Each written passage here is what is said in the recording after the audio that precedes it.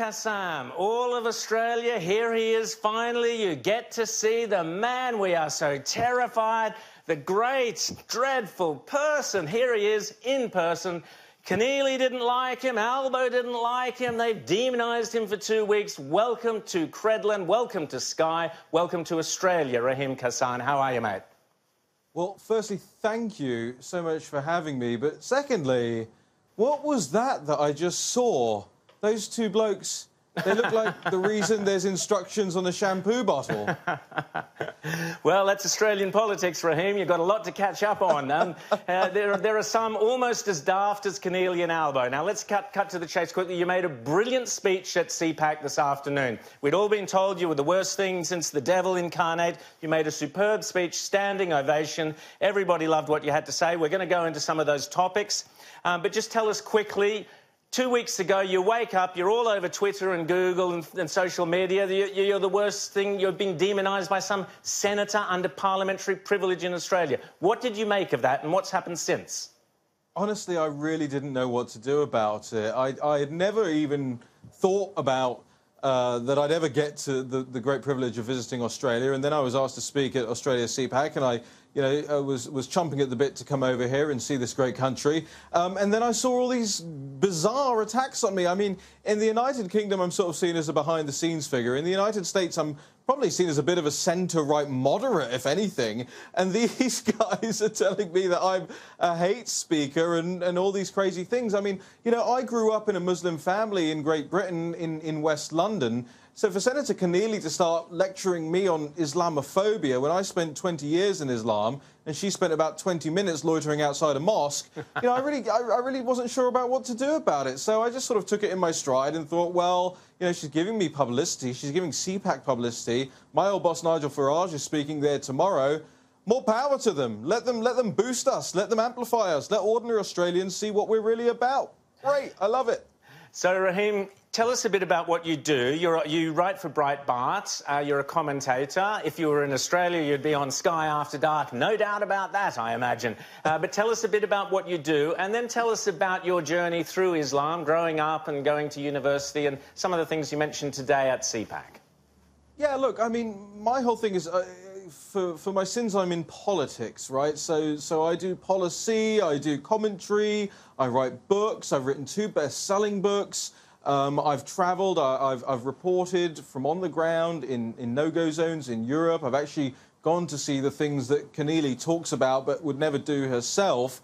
Um, and and yeah, I, I used to work at, at, at, Breitbart, and I've written for a, a, multitude of other places like the Wall Street Journal, and I've been interviewed lots of times by the BBC, and so on and so forth. So for me, it was really bizarre to be thought of being banned from a country. I mean, I mean, the establishment, as much as I loathe it, they still seem to have some sort of uh, attachment and fealty uh, to me, which I'm which I'm pleased about, which is which is obviously very important for discourse and debate. My primary concern in life is to represent the ordinary person, the working person, to make sure that we're getting a fair shout in life rather than just the, the political elites. Um, and, and, you know, I, I was raised in Islam. My parents are still Muslim, or my family is still Muslim. I just decided it wasn't for me, and I decided to start speaking up about it about 13 years ago. And, and why I left, and, and as I said earlier at CPAC, I was at the University of Westminster. I was one year ahead of Jihadi John, the ISIS beheader, the executioner, um, at university. And when I left university, I was so aggrieved by what was taking place, both in the name of the religion that I was raised in and in the country that I love so much, the United Kingdom, that I set up a counter extremism pressure group uh, to highlight the radical Islamist speakers who were coming in, being paid for, bought and paid for by the Turks, by the Saudis, and show them up for who they really are people who wanted homosexuals thrown off mountains and buildings, people who wanted female genital mutilation, uh, people who wanted to kill all Christians, people who referred to Jews as pigs and apes. And I was doing all of that counter extremism work, and I still do that today. And meanwhile, by the way, Senator Keneally and her boss in the Labour Party, the Labour Party leader, they stand shoulder to shoulder uh, with people like Emily Thornberry, Lady Nugee from Britain's Labour Party. Um, that is a party that has anti Semitism at its core. Jeremy Corbyn is friends with Hamas, friends with Hezbollah, friends with the IRA, works for the Iranian Press TV channel. yet I'm supposed to be the one who's an extremist. Senator Keneally should be ashamed of herself, and I'll tell you what, there should be an investigation into just how much the Australian Labour Party knows about the British Labour Party and why they st still stand shoulder to shoulder with them. I think Australians should be demanding answers on that basis. Well, I, I, I certainly agree with you uh, that uh, Bill Shorten, who was not elected, who ran for Prime Minister very recently in our election, uh, he, he, cited Jeremy Corbyn as, as a role model at some point and someone, somebody that he should be uh, looking to. Uh, so I agree with you there. But take us through the extent of Islamic radicalism within the universities in Britain and within the mainstream. You, you experienced that yourself. You told this morning of, of, of walking down the street, a story there. Tell us about the extent of that penetration, if you like, into the universities of Britain from radical Islam. So it's, it's massive. Um, it's, it started really in the 70s and 80s with um, countries like Saudi Arabia paying for chairs in Islamic studies um, across the university sector in the United Kingdom. Uh, it led to a lot of fundamental interpretation of Islam um, being commonplace at UK universities to the point where I was once invited to an Islamic Society meeting at the University of Westminster, right slap bang in the heart of London on Regent Street, uh, for those that know it. And as I was going into this meeting, uh, I was walking up the stairs to this little Titchfield Street building, and three of the guys that were inside um, the Islamic Society meeting came down the stairs towards me. And they said, Brother, you don't want to go in there. I said, Why not? They said, They're showing videos of 9 11 and clapping and cheering. Um, and as I always tell the story, I decided not to go into the Islamic Society meeting. I went to the pub instead, and I've never left. Fantastic. Um, so I wanted to ask you about Brexit. You're here to, uh, obviously, you mentioned Nigel Farage. Nigel Farage will be on Outsiders on Sunday morning on this channel. Um, you've, uh, you work closely with him. With the rise of Boris Johnson, explain to me, explain to our viewers, uh, what's the tension there? What's the likelihood of Boris Johnson getting Brexit achieved? Could there be an election beforehand? Could we see some kind of coalition with Nigel and Boris? What's your take on it, uh, Raheem? Well, it's, it's a very tricky situation, of course, because the Conservative Party ceased to be uh, conservative uh, back when effectively they, they got rid of Margaret Thatcher all those years yes. ago. Um, and the torch has been passed from neoliberal to neoliberal, from squish to squish, from milk toast leader to milk toast leader, um, from Major to Howard to Cameron um, to May, and now to, of course, Boris Johnson. And Boris is, again, very liberal for my liking. He believes in amnesty for all illegal immigrants into the United Kingdom. He believes um, in, in, free market economics and not much else. Um, so, so it's not the best thing for Conservatives in the United Kingdom. It's not the best thing for Brexit. Uh, he has a real problem in terms of the parliamentary math in terms of getting a no deal Brexit, which is a, a Brexit without having a, a, a prefigured trade deal with the European Union because it has to go through Parliament and because he lost this uh, uh, by election, this special election very recently. Um, so what looks like it will happen is that he'll go to Parliament, he'll, he'll do the same thing as Theresa May did, albeit a little bit more robustly, albeit with a little bit more classical and, and, and, and uh, sort of bravura based language.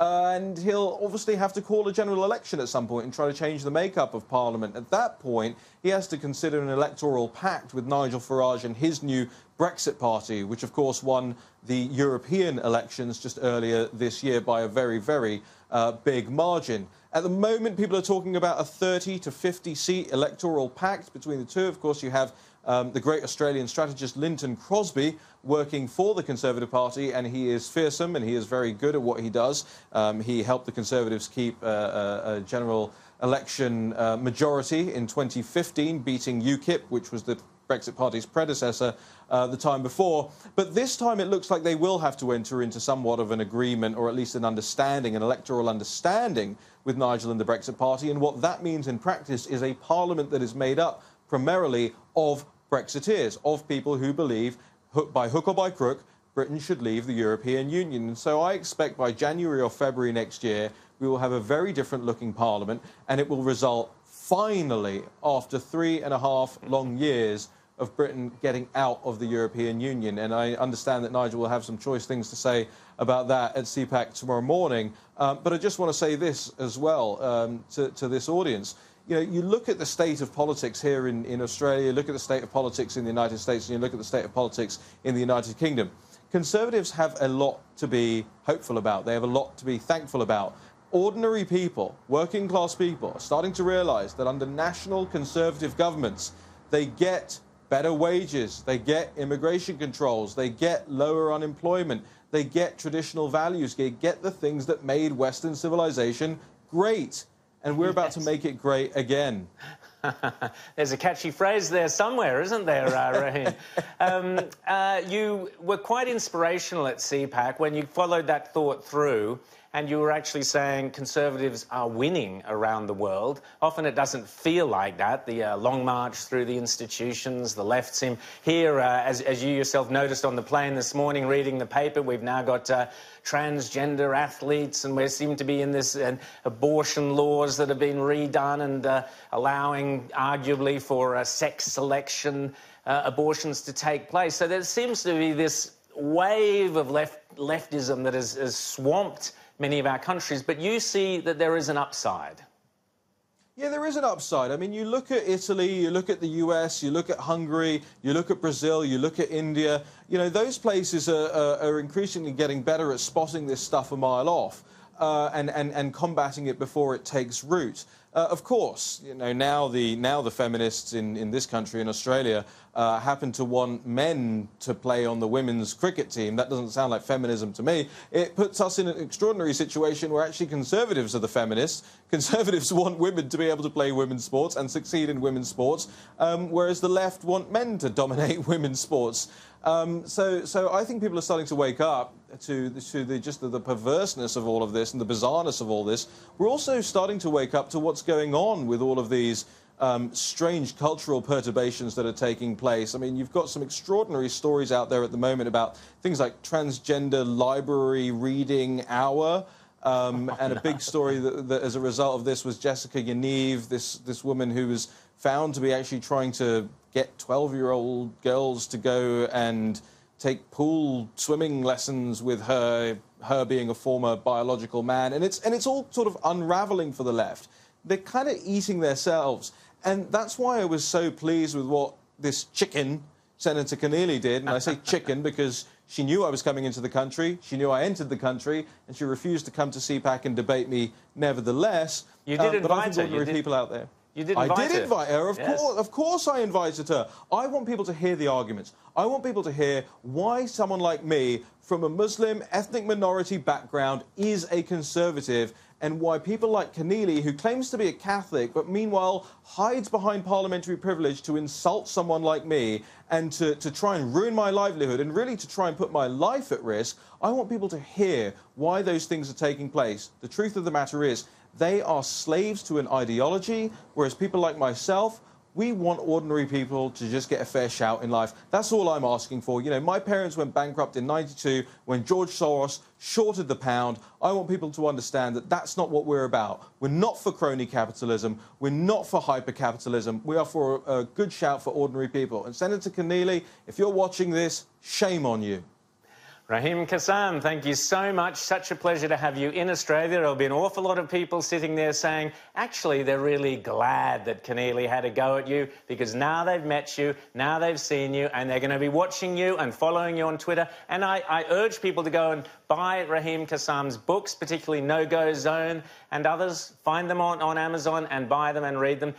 Uh, Raheem, thanks so much for talking to us here on Credlin tonight. Enjoy the rest of your time in Australia, and we'll talk to you again soon. Thanks, mate. Thank you. Cheers.